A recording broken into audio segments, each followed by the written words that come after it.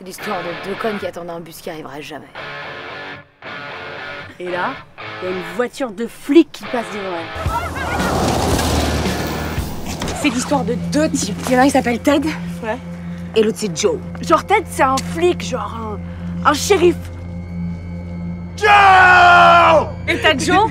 Joe, tu vois, c'est plus euh, Tom Hanks, tu vois, dans, dans Seulement le mec, il a construit sa cabane de ses mains. ouais It's a nice place. Joe!